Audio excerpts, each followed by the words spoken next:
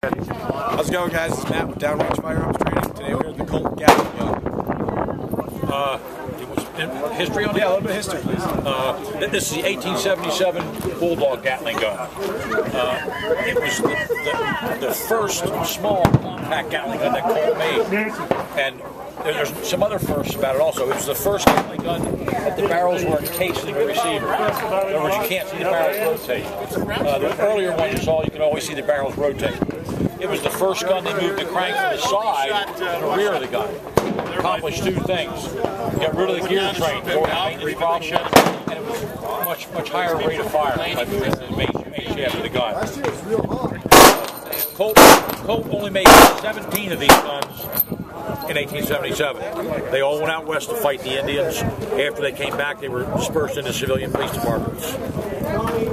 It was the smallest run of any of the Gatling guns that Colt made. Is this a refurbished or it's built the original? This is reproduction. You can take any any part out of this gun, and put it in an original, and they'll work. Looks like a movie star. Yeah, and then Yeah.